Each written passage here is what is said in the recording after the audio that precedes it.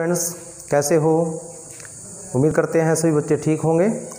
पिछले लेक्चर में हमने आपको क्रिस्टलाइन सॉलिड के विभिन्न प्रकार बताए। क्रिस्टलाइन सॉलिड मुख्य रूप से चार प्रकार के होते हैं। आयनिक सॉलिड मॉलिकुलर सॉलिड और कोवलेंट सॉलिड और मेटालिक सॉलिड दो टाइप हम पहले पढ़ चुके हैं। आयनिक सॉलिड के बारे में मॉलिकुलर सॉलिड के बारे में आज हम जो बात करेंगे इस वीडियो में, इस लेक्चर के अंदर, आज बात करेंगे क्रिस्टलाइन सॉलिड का तीसरा प्रकार। तीसरा कौन सा है? कोवलेंट सॉलिड कोवलेंट सॉलिड क्या होते हैं? ये वो क्रिस्टलाइन सॉलिड होते हैं जिनमें कंस्टिट्यूएंट पार्टिकल्स एटम्स होते हैं। और उन एटम्स के बीच में कोवलेंट बॉन्ड होता है। यानी covalent solid are those crystalline solid in which the constituent particles are atoms which are held together by covalent bond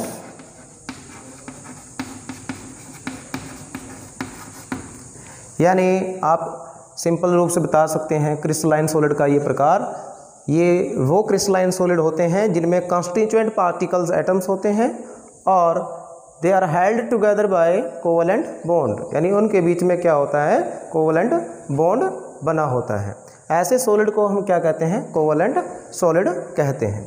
example देखिए यहाँ पर। डायमंड की बात करें हम। ग्रेफाइट की बात करें।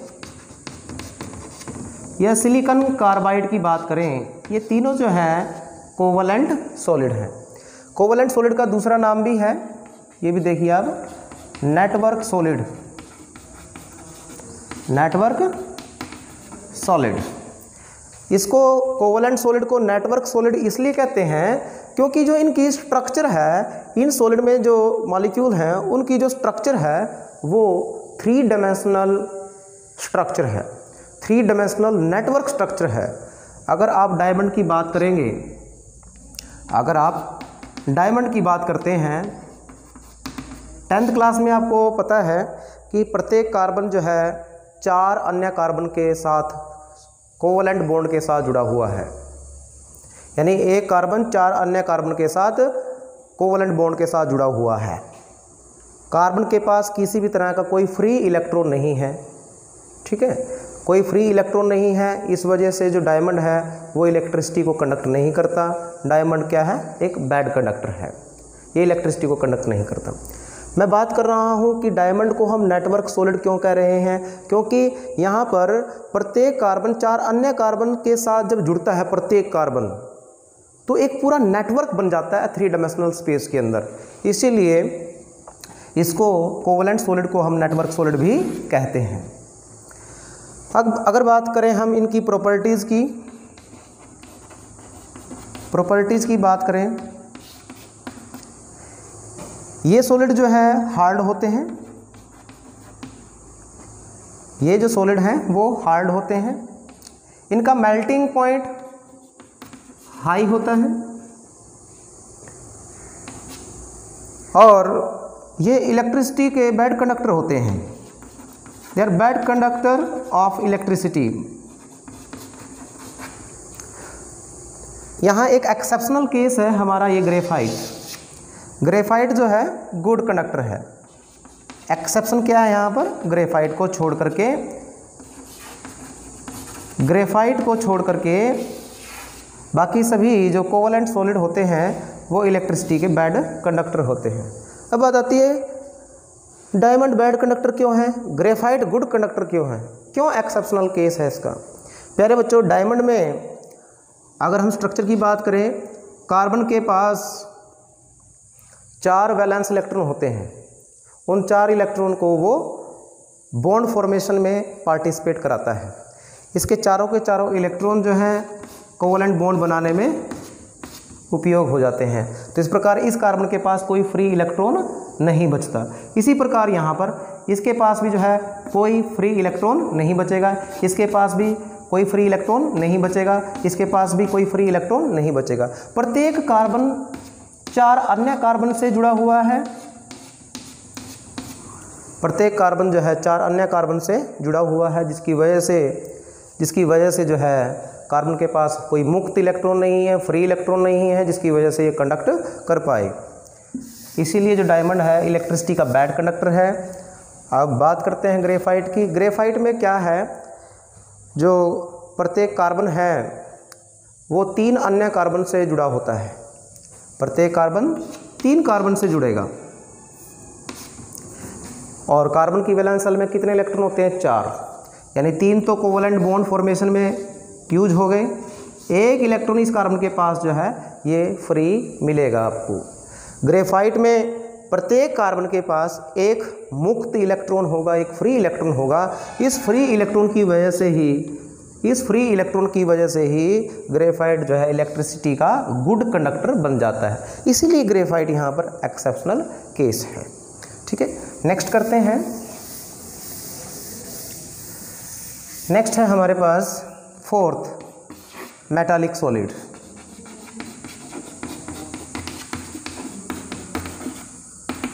जैसे नाम से पता लग रहा है कि मेटालिक सॉलिड क्या होते हैं इनमें कंस्टिट्यूंट पार्टिकल्स क्या होते हैं ठीक है? तो क्रिस्टलाइन सॉलिड्स का ये type metallic solid the constituent particles are ions. The constituent particles are metal ions and uh, mobile electrons. अब बात आती है, हमें मेटल के बारे में पता है मेटल क्या होती है। मेटल वो एलिमेंट होते हैं जिनकी टेंडेंसी इलेक्ट्रॉन लूज करने की होती है। जब इलेक्ट्रॉन लूज करेगी मेटल तो किस रूप में कन्वर्ट हो जाएगी? मेटल आयन की फॉर्म में कन्वर्ट हो जाएगी। ठीक है ना? अगर कोई मेटल इलेक्ट्रॉन लूज़ करती है एनर्जी सप्लाई करने के बाद तो वो क्या बन जाती है? मेटल आयन बन जाती है। अब इन मेटल आयंस को इस सॉलिड के अंदर हम पॉजिटिव कर्नल्स भी बोलते हैं। क्या बोलते हैं इनको? पॉजिटिव कर्नल्स भी बोलते हैं और इनको क्या बोलते हैं यहाँ पर? Mobile electrons. क्या बोलते हैं? Mobile electrons. अब देखिए यहाँ पर ये सोडियम मेटल है। क्या है ये? Sodium metal. इस सोडियम मेटल में आपको पता है, इसका electron configuration two eight one होता है, इसकी वैलेंस सेल में एक इलेक्ट्रॉन है। तो ये एक इस वैलेंस इलेक्ट्रॉन को आसानी से लूज कर सकते हैं और इस सोडियम के अंदर ये वैलेंस इलेक्ट्रॉन लूजली हेल्ड होगा। देखिए, ये positive kernels of sodium, that is sodium ion, one electron in its surrounding. Sodium ion sodium ion sodium ion sodium ion sodium ion sodium ion sodium ion sodium ion. मैंने यानी positive नहीं लिखा, वैसे positive charge लिखा मैंने यहाँ पर। इनकी सराउंडिंग में एक एक इलेक्ट्रॉन जो लूजली हेल्ड है। ठीक है? इन इलेक्ट्रॉन्स को बोल रहे हैं मोबाइल इलेक्ट्रॉन्स क्या बोल रहे हैं? मोबाइल इलेक्ट्रॉन्स और इस आयन को बोल रहे हैं पॉजिटिव कर्नल्स पॉजिटिव कर्नल्स ठीक है? यानी हमारे किसी मेटालिक सॉलिड के अंदर दो तरह के जो है कॉन्स्टिट्यूंट पार्टिकल्स हैं पॉजिटिव कर्नल्स और मोबाइल इलेक्ट्रॉन्स ठीक है? अब इन कंस्टिट्यूंट पार्टिकल्स के बीच में किस तरह का फोर्स है? जैसे कोवलेंट सॉलिड में कंस्टिट्यूंट पार्टिकल एटम्स थे, उनके बीच में किस तरह का फोर्स लग रहा था? कोवलेंट फोर्स यानी कोवलेंट बॉन्ड से बंधे हुए थे। यहाँ पर जो मेटल आयंस और मोबाइल इलेक्ट्रॉन्स के बीच में फोर्स लग रहा है, उसको कौन सा फोर्स बोलेंगे हम? मेटालिक बॉन्ड बोलेंगे और मेटालिक फोर्स बोलेंगे। क्या बोलेंगे? Metallic bond. यानी मेटालिक सॉलिड की अगर हम परिभाषा की बात करें, डेफिनेशन की बात करें, क्या होगी? These are those crystalline solid. In which the constituent particles are metal ions and mobile electrons which are held together by metallic bond इसको हमने यहाँ पर इलेक्ट्रॉन सी मॉडल से समझाया है। ये क्या है? Electron sea model of sodium atom यहाँ पर ये sodium ion surrounded by one mobile electron sodium ion mobile electron sodium ion mobile electron इस इलेक्ट्रॉन्स के सी के अंदर पॉजिटिव कर्नल्स जो है इमर्स हैं। इसलिए इसको इलेक्ट्रॉन सी मॉडल भी कहा जाता है, ठीक है? अब बात आती है एग्जाम्पल्स की। आपका जो आयरन है, ये भी एक मेटालिक सॉलिड है। सोडियम है, ये भी एक मेटालिक सॉलिड है। मैग्नीशियम है मेटालिक सॉलिड है। सिल्वर गोल्ड एटसेट्रा एक एक्सेप्शन है यहाँ पर।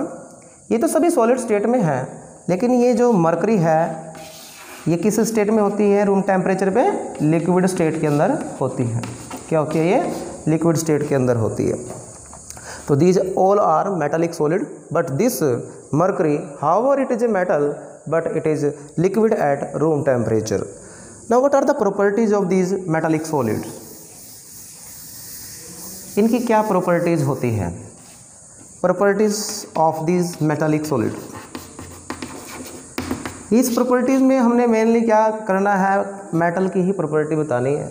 मेटल कैसी होती है? उनकी फ़िज़िकल स्टेट क्या होती है? हार्ड होती है। ठीक है? They are hard in nature they have high melting and boiling point इनका मेल्टिंग पॉइंट क्या होता है? हाई होता है। इलेक्ट्रिसिटी के क्या होते हैं ये? Good conductor good conductor of electricity and uh, they are luster they possess luster they are malleable. They are ductile. They are ductile in nature. प्यारे बच्चों जो मेटालिक सॉलिड हैं वो हार्ड होते हैं। इनका मेल्टिंग पॉइंट जो है बहुत ज़्यादा हाई होता है। ये इलेक्ट्रिसिटी को अच्छी तरह से कंडक्ट करते हैं। क्यों करते हैं? अच्छी तरह से कंडक्ट क्योंकि मेटालिक सॉलिड में क्या है? मोबाइल इलेक्ट्रॉन्स हैं। मोबाइल का मतलब जो मूव कर सकते हैं इलेक्ट्रॉन्स इलेक्ट्रॉन्स के ऊपर कौन सा चार्ज होता है? नेगेटिव चार्ज होता है। यानी उस मेटालिक सॉलिड में जब हम इलेक्ट्रिसिटी किसी वायर से कनेक्ट करते हैं, मान लो ये हमारे पास positive ion electrons positive ion electrons या metal ions free electrons metal ion, free electrons. इस तरह से ये कोई मेटलिक सॉलिड है, जिसमें ये कॉन्स्टिट्यूंट पार्टिकल्स है। अगर मैं किसी सोर्स से इसको इलेक्ट्रिसिटी प्रोवाइड करूँगा तो इस वायर में से क्या फ्लो होगा? इलेक्ट्रॉन चार्ज फ्लो होगा। और चार्ज में कौन? इलेक्ट्रॉन्स जब इलेक्ट्रॉन इसके अंदर एंटर करेंगे, यानी ये चार्ज इसके अंदर एंटर करेगा तो अगर ये नेगेटिव है तो नेगेटिव नेगेटिव में क्या करेगा? रिपेल करेगा। रिपेल करने की वजह से जो इलेक्ट्रॉन्स हैं, ये मूव करेंगे। और मूव करने के बाद वो चार्ज जो है, इस सिरे से इस सिरे तक पहुँच जाएगा।